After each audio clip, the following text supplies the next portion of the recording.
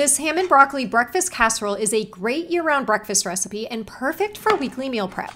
It's filled with a good amount of veggies, including green bell pepper, onion, and broccoli.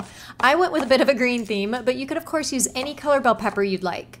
For the ham, I'm using ham steaks and just dicing those up, but this is also a perfect recipe after a holiday like Easter or Christmas when you've got some leftover ham and you're trying to figure out what to do with it.